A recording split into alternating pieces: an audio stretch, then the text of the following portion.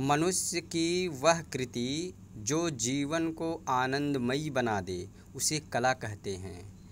अर्थात जिस गुण या कौशल द्वारा किसी वस्तु को सुंदर तथा उपयोगी बनाया जाए, वही कला है। अथवा भौतिक जीवन को सुखमय बनाने के सर्वश्रेष्ठ साधन को कला कहते हैं।